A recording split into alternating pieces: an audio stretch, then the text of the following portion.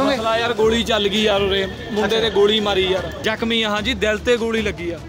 ਹਾਂਜੀ ਵੀਰੇ ਕੀ ਹਾਲ ਚਾਲ ਨੇ? ਵੀਰੇ ਮੈਂ ਨਾ ਇੱਥੇ ਉਹ ਲੱਗਦਾ ਨਹੀਂ ਮੈਂਟੂ ਮੈਂਟੂ ਐਵੇਂ ਲੱਗਦਾ। ਮਸਲਾ ਯਾਰ ਗੋਲੀ ਚੱਲ ਗਈ ਯਾਰ ਉਰੇ। ਮੁੰਡੇ ਤੇ ਗੋਲੀ ਮਾਰੀ ਯਾਰ। ਜ਼ਖਮੀ ਆ ਹਾਂਜੀ ਦਿਲ ਤੇ ਗੋਲੀ ਲੱਗੀ ਆ। ਥਾਣੇ ਐਲਏ ਗ੍ਰੀਨ ਰਿਜ਼ੋਰਟ ਚ। ਤੇ ਮੈਂ? ਬਸ ਉੱਤੇ ਸਾਈਡ ਤੇ ਖੜਾ ਸੀਗਾ।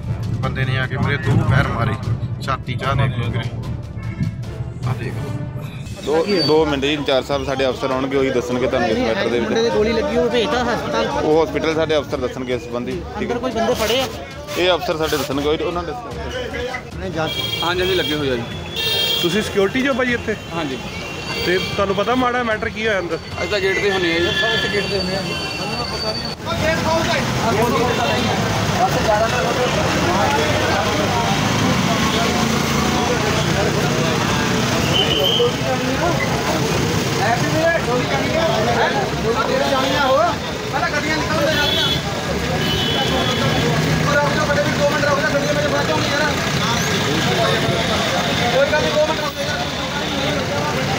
ਮਸਲਾ ਯਾਰ ਗੋਲੀ ਚੱਲ ਗਈ ਯਾਰ ਉਰੇ। ਮੁੰਡੇ ਤੇ ਗੋਲੀ ਮਾਰੀ ਯਾਰ।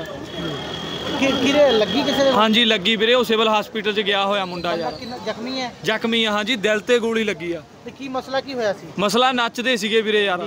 ਨੱਚਦੇ ਨੱਚਦੇ ਕਿਸੇ ਨੇ ਫਾਇਰ ਕੱਢੇ ਤਿੰਨ ਫਾਇਰ ਹੋਏ ਨੇ। ਜੀ। ਤਿੰਨ ਫਾਇਰਾਂ ਦੇ ਵਿੱਚੋਂ ਕਹਿਣ ਦਾ ਮਤਲਬ ਇੱਕ ਗੋਲੀ ਦਿਲ ਤੇ ਲੱਗੀ ਆ ਵੀਰੇ। ਖਹਿ ਕੇ ਨੰਗੀ ਆ ਨਾਲ ਦਿਲ ਦੇ ਕੋਈ ਸਰਨਾ ਨਹੀਂ ਲੱਗਿਆ। ਹਾਂ ਨਾਲ ਖਹਿ ਕੇ ਨੰਗੀ ਆ ਵੀਰੇ ਦਿਲ ਦੇ। ਫੈਰ ਕਿੰਨਾ ਨੂੰ ਖੈ ਫਾਇਰ ਵੀਰੇ ਨੱਚਦੇ ਸੀ ਮੁੰਡੇ ਹਲੇ ਕੋਈ ਸੀਸੀਟੀਵੀ ਚੈੱਕ ਕਰਦੇ ਨੇਗੇ।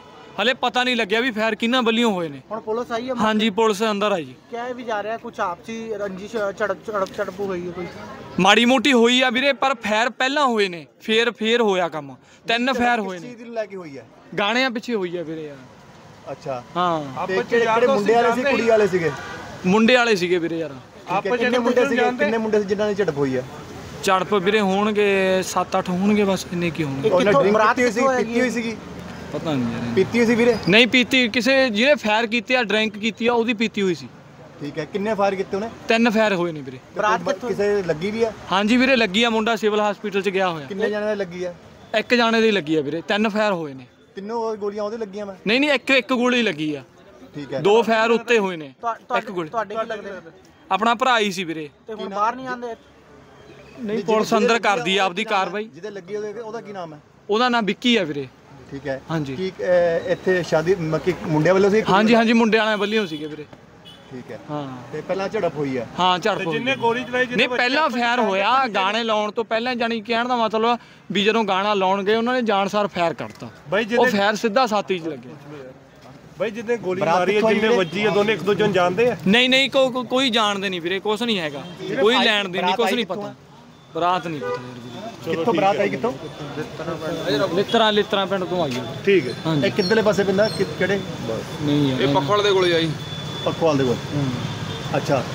ਤੇ ਭਾਜੀ ਫਿਰ ਅਹ, ਮੱਕੀ ਕਿੰਨੇ ਕ ਬੰਦੇ ਅਹ, ਜਿਹੜੇ ਇੱਥੇ ਹੈਗੇ ਨੇ? ਦੇਖੋ ਜੀ ਇਹ ਸ਼ਹੀਦ ਭਗਤ ਸਿੰਘ ਨਗਰ ਚੌਂਕੀ ਪੀਐਸ ਦੁਗਰੀ ਦਾ ਏਰੀਆ ਹੈਗਾ ਐਲੀ ਗ੍ਰੀਨ ਰਿਜ਼ੋਰਟ ਹੈ ਇੱਥੇ ਸਾਨੂੰ ਇਨਫੋਰਮੇਸ਼ਨ ਆਈ ਸੀ। ਫਾਇਰਿੰਗ ਹੋਈ ਹੈ ਇੱਕ ਬੰਦੇ ਤੇ ਲੱਗੀ ਇੱਕ ਬੰਦਾ ਮਜਰੂਬ ਹੈਗਾ। ਸਟੇਟ ਆਊਟ ਆਫ ਡੇਂਜਰ ਹੈਗਾ ਉਹ।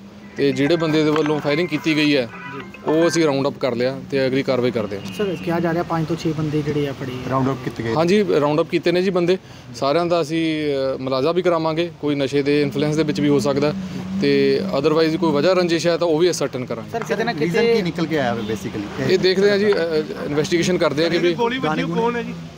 ਉਹਦਾ ਨਾਮ ਜੀ ਗੁਰਸੇਵਕ ਸਿੰਘ ਆ ਜੀ ਪਿੰਡ ਛਪਾਰ ਹੈ ਜੋ ਮੁੱਢਲੀ ਜਾਣਕਾਰੀ ਹੈ। ਅ, ਕੁੜੀ ਵਾਲੇ ਨਾ ਮੁੰਡਿਆਂ ਵਾਲੇ ਉਹ ਖਤਰੇ ਤੋਂ ਬਾਹਰ ਹੈ ਜੀ ਤੇ ਦੇਖਦੇ ਹਾਂ ਕਿ ਵੀ ਕਿਹੜੇ ਪਾਸਿਓਂ ਕਹਿੰਦੇ ਕਹਿੰਦੇ ਕਿ ਡੀਜੇ ਨੂੰ ਡੀਜੇ ਤੇ ਗਾਣੇ ਗੁਣੇ ਨੂੰ ਲੈ ਕੇ ਕਹਿੰਦੇ ਝੜਪ ਹੋਈ ਹੈ। ਹਾਂਜੀ ਮੁੱਢਲੀ ਜਾਣਕਾਰੀ ਇਹੀ ਹੈ ਬਾਕੀ ਸਰਟਨ ਕਰਦੇ ਹਾਂ ਕਿ ਵੀ ਡੀਜੇ ਦੇ ਗਾਣੇ ਚਲਾਉਣ ਨੂੰ ਲੈ ਕੇ ਝੜਪ ਹੋਈ ਹੈ ਤੇ ਬਾਕੀ ਸਰਟਨ ਕਰਦੇ ਹਾਂ ਜੀ। ਸਰ ਕਿਤੇ ਨਾ ਕਿਤੇ ਪੈਲਸਾਂ ਦੇ ਵਿੱਚ ਹਥਿਆਰ ਬੈਨ ਆ ਤੇ ਕੀ ਇਸ ਨੂੰ ਲੈ ਕੇ ਵੀ ਜਾਂਚ ਲੱਗਦਾ ਨਹੀਂ ਸਰ ਕਿ ਬਿਲਕੁਲ ਜੀ ਜਿਹੜੇ ਵੀ ਪੈਲੇਸ ਮਾਲਕ ਨੇਗੇ ਉਹਨਾਂ ਨੂੰ ਮੇਰੀ ਅਪੀਲ ਵੀ ਹੈ ਤਾਕੀਦ ਵੀ ਹੈ।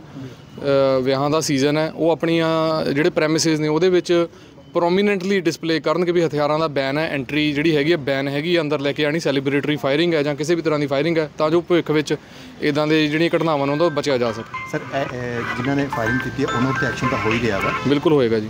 ਸਖਤ ਐਕਸ਼ਨ ਕਰਾਂਗੇ। ਠੀਕ ਹੈ। ਤੇ ਲੋਕਾਂ ਨੂੰ ਕੀ ਅਪੀਲ ਹੈ ਕਿ ਇਦਾਂ ਹਥਿਆਰ ਲੈ ਕੇ ਨਾ ਦੇਖੋ ਜੀ ਰੰਗ 'ਚ ਭੰਗ ਪਾਉਣ ਵਾਲਾ ਕੰਮ ਹੈ। ਲੋਕਾਂ ਨੂੰ ਇਹ ਅਪੀਲ ਹੈ ਕਿ ਵੀ ਖੁਸ਼ੀ ਜਿਹੜੀ ਆਪਣੀ ਤਰੀਕੇ ਦੇ ਨਾਲ ਮਨਾਉਣ ਤੇ ਇਦਾਂ ਦਾ ਕੰਮ ਨਾ ਕਰਨ, ਕਾਨੂੰਨ ਨੂੰ ਹੱਥ 'ਚ ਨਾ ਲੈਣ, ਨਹੀਂ ਫਿਰ ਸਖਤ ਕਾਰਵਾਈ ਕੀਤੀ ਜਾਊਗੀ